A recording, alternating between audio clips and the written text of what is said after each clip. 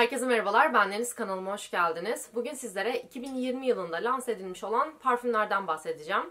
Bu parfümler arasında hangi parfümleri beğendim, hangi parfümler bana göre alınmaya değer parfümler ya da hangilerini beğenmedim onlardan bahsedeceğim.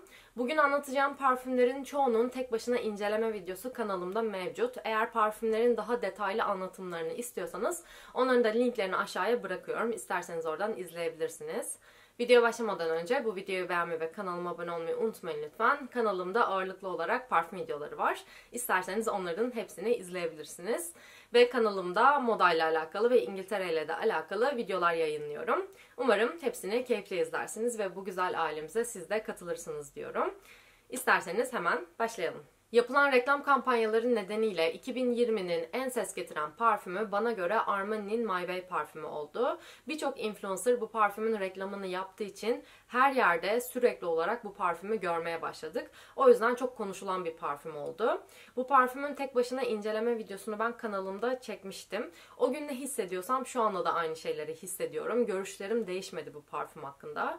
Parfüm açılışını portakal çiğiyle ve bergamotla yapsa da parfümü sıktığınız ilk 1-2 dakika içerisinde parfümden yapay, sentetik bir meyvemsi hava hissediyorsunuz. Asla güzel kokan meyvemsi bir atmosfer değil bu. Bir Lavie Bell'in meyvemsi atmosferini bu parfümde hissetmiyorsunuz. Onun dışında parfümün orta notalarında sümülteber ve yasemin, alt notalarında ise vanilya, mask ve sedir ağacı var. Daha çok hissettiğim benim sümbülteberle vanilyanın birleşmiş bir kombinasyonu. Ancak onlar da yine kaliteli bir sümülteber ya da güzel kokan sıcak, içinizi ısıtacak bir vanilya kokusu değil. Parfümde tatlı bir hava var kesinlikle. Dediğim gibi meyvemsi bir tatlılık içerse de parfüm. Kaliteli kokmuyor. Vanilyası güzel bir vanilya değil. Sümbülteber kokusu çok sentetik kokuyor. Kalıcılığı yok, yayılımı yok, hiç yok. Gerçekten yok. Yani bir 3 saat bile ne kalıcılık var ne yayılım var. İlk bir e, 10-15 dakika parfümün kokusunu hissediyorsunuz. Ondan sonra koku uçup gidiyor. Ee, dediğim gibi beğendiğim bir parfüm olmadı. Hem koku özgünlüğü olmayan bir parfüm. Genel beğeniye açık bir parfüm yapmak istemişler ancak bence çok becerememişler. Ve performansı da hiç olmadığı için paranızı hak etmeyen, öneremeyeceğim bir parfüm kendisi. 2020 yılında lanse edilmiş olan ve beğendiğim bir parfümle devam ediyorum. Bu da Yves Saint Laurent'in Libra parfümünün Intense versiyonu. Hem Libra parfümünün tek başına inceleme videosunu çekmiştim hem de Intense'in tek başına inceleme videosunu çektim. Ve 2020 yılında yeni lanse edilmiş olan parfümleri deneyip hiçbirini beğenmeyince ve bu parfümü koklayıp beğenince gerçekten çok mutlu olmuştum. Libra parfümünü de ben beğenmiştim aslında ancak spesifik olarak içerisinde bir şeyleri eksik bulmuştum. Ancak yaz aylarında özellikle de karantinada evde kaldığımız dönemde o parfümü tamamen kullanıp bitirdim. O yüzden kendisini kötülemek istemiyorum. Kalıcılığı güzel, yayılımı güzel olan bir parfüm. Ancak bu intense versiyonuyla o içimde eksik bulduğum kısım tamamlanmış. O yüzden çok mutlu oldum. Yves Saint Laurent'in klasik Libra parfümünün tüm DNA'sını bu parfümde de hissediyorsunuz. O lavantanın vanilya ile birleşmiş klasik Libra'nın imzası olan klasik DNA'yı bu parfümde de hissediyorsunuz.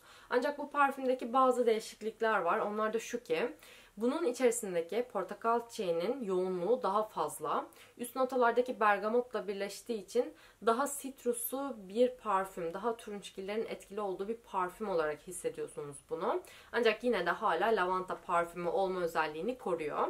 Onun dışında Yasemin daha sessiz bu parfümde ve alt notalardaki vanilya konsantrasyonu bence daha fazla arttırılmış. O vanilya alt notalardaki ambergrisle, tonkayla ve vetiverle birleşerek daha sıcak, daha gormand, daha oryantal bir parfüm havasına bürünmüş.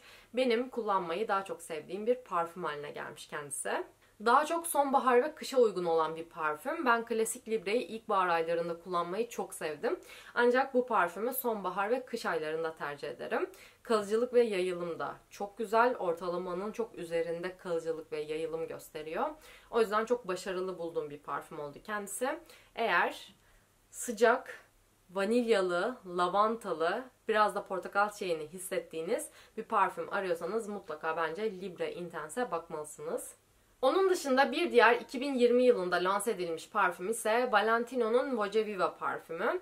Bu parfümü ben Armani'nin My Way parfümünden daha güzel buldum. Çünkü en azından karakteri olan bir parfüm kendisi. Armani'nin My Way parfümünün bana göre hiçbir karakteri yok. Meyvemsi bir parfüm değil. Sıcak bir parfüm değil. Tatlı bir parfüm deseniz değil. Ee, çiçeksi bir parfüm değil. Yani o parfümü gerçekten hiç beğenmedim. Bu parfümü ben çok fazla özgün bulmadım. Ancak güzel bir turunçgil parfümü kendisi. En azından bir karakteri var bu parfümün.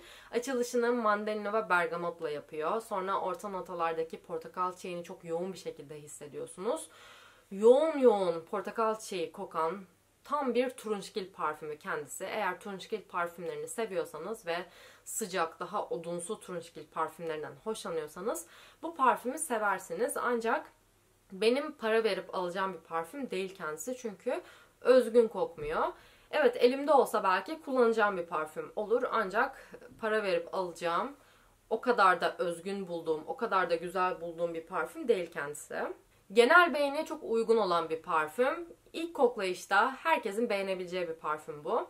Mesela bir parfümeriye gittiniz. O gün tamamen başkaları tarafından manipüle edilmeye açık bir haldesiniz. Size bu parfümü sıktılar. Yeni bir parfüm alacağınız gelmiş o gün. Hemen bu parfümü alırsınız. Öyle bir parfüm kendisi. Herkesin ilk koklayışta beğenebileceği bir parfüm.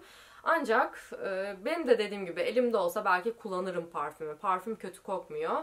Güzel bir turunçgil parfümü kendisi ancak özgün bulmadığım için fiyatını hak ettiğini düşünmüyorum o anlamda. O yüzden size de önereceğim bir parfüm değil kendisi. Alt notalarında vanilya var, mask var, tonka fasulyesi var ve sandal ağacı var. Çok güzel ısıtılmış, sıcak, tatlı olan bir turunçgil parfümü kendisi. Bunu da sizlere söylemek istedim. Ve sanırım bir sevdiğim bir de sevmediğim parfümler olarak devam edeceğim ben. Şimdi bir sevmediğim parfüm anlattım. Daha doğrusu sevdiğim ancak parasını hiç hak etmediğini düşündüğüm bir parfüm anlattım. Şimdi ise parasını %100 hak ettiğini düşündüğüm hatta iki katına satılsa dahi o parayı hak ettiğini düşündüğüm bir parfümle devam ediyorum. O da Narsa Rodriguez'in Narsa koleksiyonundaki Ambre parfümü. Bu parfüm 2020'nin en güzel parfümlerinden biri bence. Ve neredeyse bu parfüm ben bu videoya dahil etmeyecektim. Çünkü bu parfümün 2019 yılında lanse edildiğinden o kadar emindim ki ben. bu parfümü hiç bu videoda anlatacağımı düşünmezdim. Ancak sizlere bu videoyu hazırlarken fark ettim ki Yves Saint Laurent yeni bir parfüm çıkarttı. Valentino çıkarttı. Armani çıkarttı. Merak ettim acaba Narsa Rodriguez çıkartmadı mı diye. Bir baktım bu parfüm 2020 yılında lanse edilmiş. O yüzden çok şaşırdım. Bana kalsa neredeyse bir ya da bir buçuk yıl oluyor bu parfüm lanse edileli. Ancak olmamış. Bu parfüm o kadar güzel ki. Ah, içerisinde frangipani ve yılan yılan var. Tamamen beni mutlu eden notalar bunlar tatlı çiçeksi notalar kesinlikle. Amber var içerisinde. O kadar yoğun, sıcak kokan bir parfüm ki. Parfüm tatlılıktan çok sıcak kokuyor. İçerisinde mask da var. Ancak pudralı yapısından çok tamamen kremsi olan bir parfüm kendisi. Yapısının kalitesi nedeniyle 10 üzerinden 10 veriyorum. Koku özgünlüğü olarak 10 üzerinden 10 veriyorum. Beni mutlu etmesi anlamında 10 üzerinden 10 verdiğim bir parfüm. Tabii ki birçok kriter var bir parfüme 10 üzerinden 10 vermek için ancak gerçekten birçok dalda, birçok alanda benim çok hoşuma giden bir parfüm kendisi. Sıcak kokan bir parfüm. Yayılımı çok güzel, kalıcılığı çok güzel. Gerçekten Narsa Rodriguez parfümleri arasında en beğendiğim parfümlerden biri kendisi. Bundan önceki aşkım benim pudra parfümüydü. Ancak bu parfümü de ilk yan yana koyuyorum evet. Bence ikisi de benim en sevdiğim Narsa Rodriguez parfümleri. Bu Narsa koleksiyonuna zaten bayılıyorum. Hatta şu an dağıtımda birazdan gelmesi lazım. 3.30'a kadar bir saat içerisinde gelmesi lazım. Bunun klasik olanını sipariş ettim. Yani Narciso EDP olarak geçiyor. Beyaz şişe sahip olanı. O da geldiğinde güzel bir Narsa Rodriguez parfümleri videosu çekeceğim sizlere. Sıcak olan ancak çok da tatlı olmayan, kremsi yapıya sahip olan, eğlenceli, sizi mutlu edecek bir parfüm arıyorsanız bence kesinlikle bu Amre parfümüne bakın derim. Sıcak parfümlerden hoşlananların ilkbahar ve yaz aylarında da kullanabileceği bir parfüm bu. Ben Londra'nın yazında çok severek kullandım bunu. Tabii ki de bir 30-40 derecelerde bu parfüm boğucu olacaktır ancak Londra'nın yazı zaten 20 maksimum 25 derece olduğu için ben çok severek kullandım. Size de mutlaka tavsiye ediyorum. Şimdi sırada sizlere elimde dekantı olmayan mağazada denediğim iki adet Tom Ford parfümünden bahsedeceğim. Bunların ikisi de 2020 yılında lanse edildi. Ve ben ikisini de iki farklı günde denedim. İki seferde de kağıtlara sıktırdım. O yüzden kokularından artık iyice eminim diyebilirim. İlki Tom Ford'un çok ses getirmiş, en çok satan, en özgün bulunan parfümlerinden birinin parfüm versiyonu. O da Black Orchid parfümü. Bende Black Orchid'in klasik EDP versiyonu var. EDP versiyonunun konsantrasyonu %15 ile %20 arasında değişir.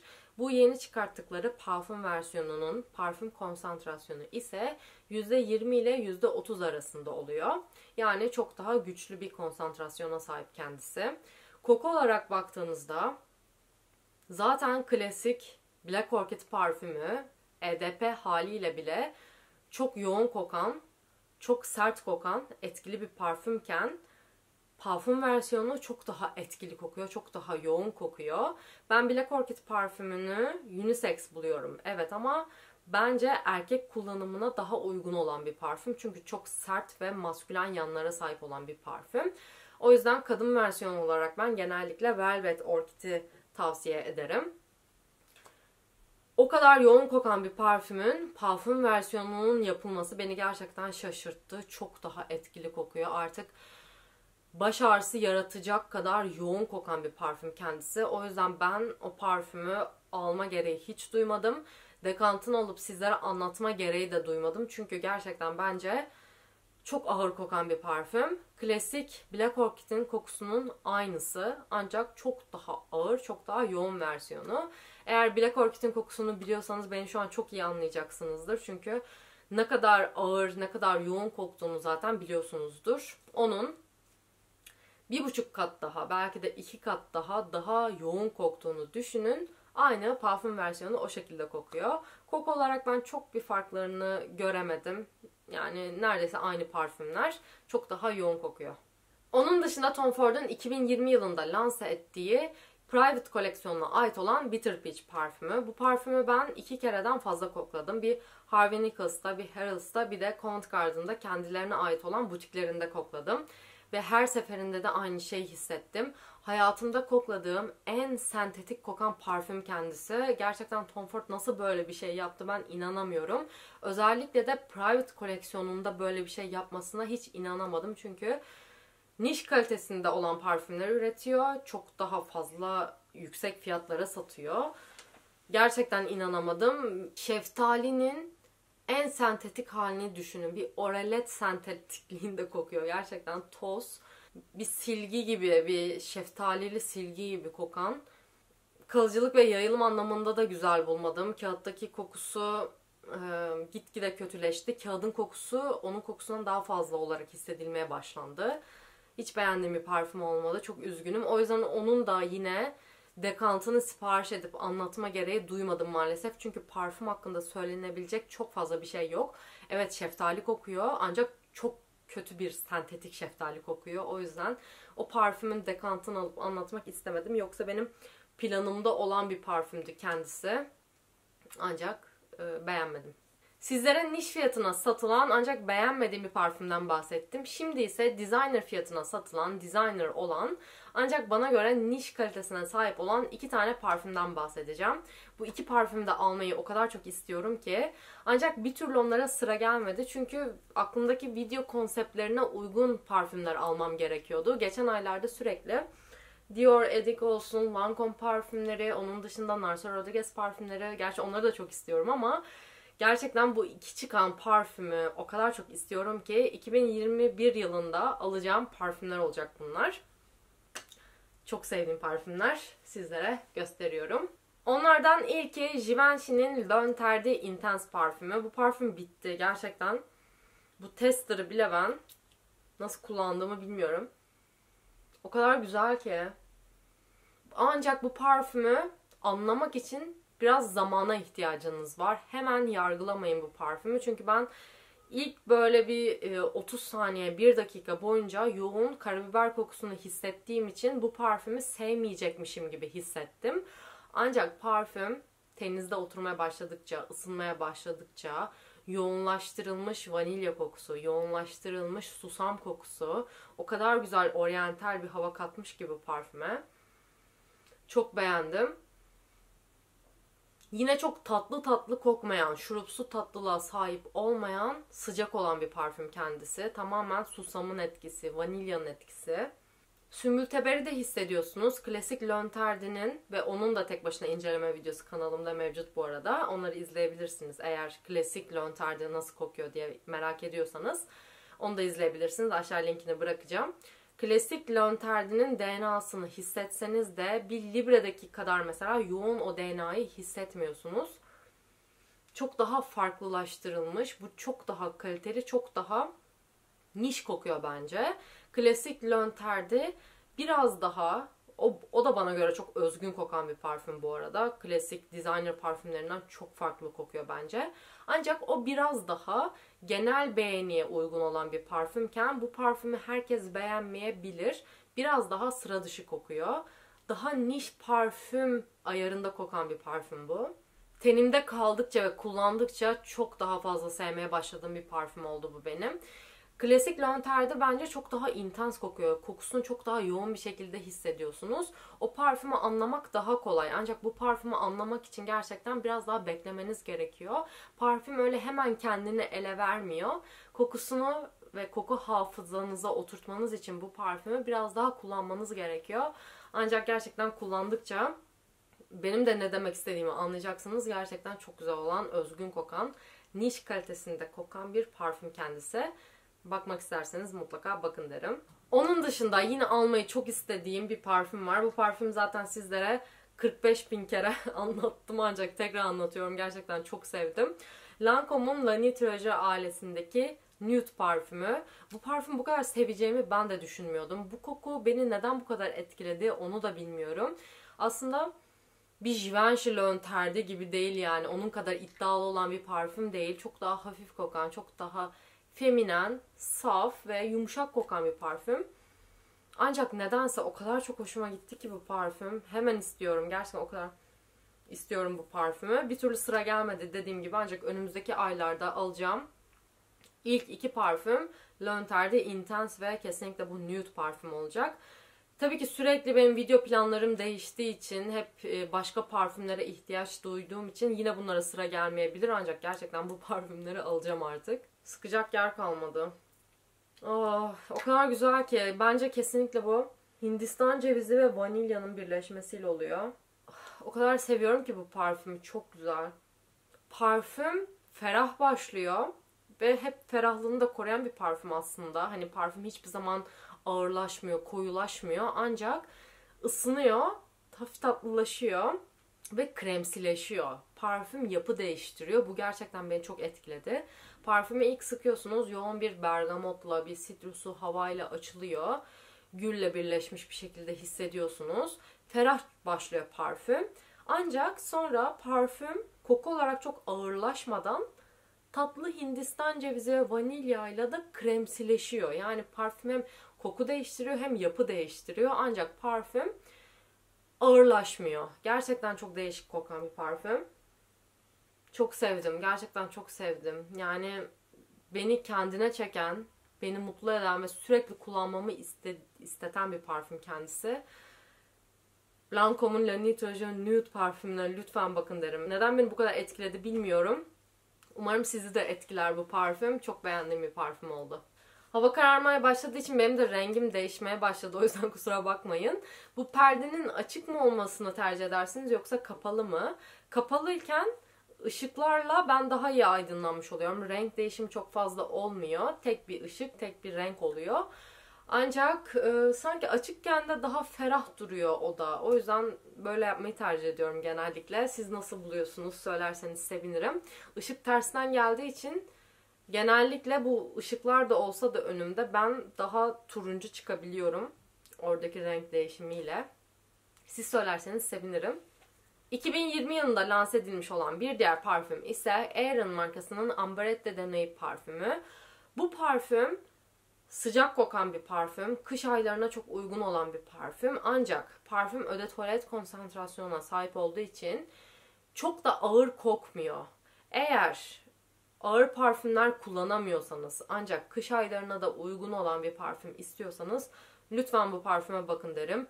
Koku özgünlüğü olarak çok güzel, çok etkileyici kokan bir parfüm. Sadece bir kere kokladım. Elimde hiçbir dekantı yok. Ancak kokusu beni o kadar etkiledi ki bu videoda da sizlere anlatmak istedim. Parfümün aslında notaları arasında hiçbir şekilde baharatlar kullanılmamasına rağmen parfümde hoş bir baharatlı hava hissediyorsunuz. Parfüme biraz oryantal yapı kazandırıyor bu. Ve alt notalarında ise tonka fasulyesi, vanilya, sedir ağacı kullanılmış. Sıcak notalara sahip olan gülün kullanıldığı, şakayıkın kullanıldığı, şakayıkı da ben zaten çok severim. Bence bu parfümü hafifleştiren bir diğer nota da bence şakayık. Dediğim gibi notalar çok güzel bir şekilde harmanlanmış ve dengelenmiş bence. Tatlı notalarla, o oryantal, o sıcak notalarla ferah notalar çok güzel dengelenmiş ve bir de öde tuvalet konsantrasyonu olduğu için çok daha hafif bir şekilde hissedilen ama hala daha sıcak ve oryantal olan bir parfüm. Eğer bakmadıysanız mutlaka bakın derim. Onun dışında 2020 yılında lanse edilmiş olan bir diğer parfüm ise yine Lancome'dan. Ben az önce Lancome'un La Nuit serisini göstermiştim sizlere. Bu ise Idol parfümünün intense versiyonu. Bu parfümü ben nedense merak etmedim. Kanalımda anlatmadım ve bir sürede sürekli olarak yeni parfümler anlattığım için Artık bu parfüme sıra gelmedi ve o yeni parfüm anlatma olayından biraz uzaklaştım. Eğer bu parfümün incelemesini istiyorsanız bana aşağı yorum olarak yazın. Bu parfümün de dekantını sipariş edip sizlere anlatabilirim. Dediğim gibi çok merak etmedim ancak şimdi bakınca gerçekten merak ettim. Acaba nasıl kokuyor diye. Keşke deneseydim diyorum şu an. Eğer siz de istiyorsanız anlatmamı bana aşağıda yazarsanız o parfümün de videosunu çekerim. Sizin bildiğiniz yeni çıkan parfümler var mı? Onların bana isimlerini yazarsanız sevinirim. Yine araştırırken gördüm ki Bono 9'ın My New York isimli bir parfüm çıkmış. Bunu bana bir takipçim de söylemişti ancak onun yeni çıkan bir parfüm olduğunu bilmiyordum ben. Onu da gerçekten merak ettim. Harrods'a gittiğimde o parfümü de deneyeceğim. Benim de bildiklerim bu şekildeydi. Sizin en sevdiğiniz 2020 parfümü hangisi oldu? Bana aşağı yorumlarda yazarsanız sevinirim. Bu videoyu beğenmeyi ve kanalıma abone olmayı unutmayın lütfen. Kendinize çok iyi bakın. Hoşçakalın.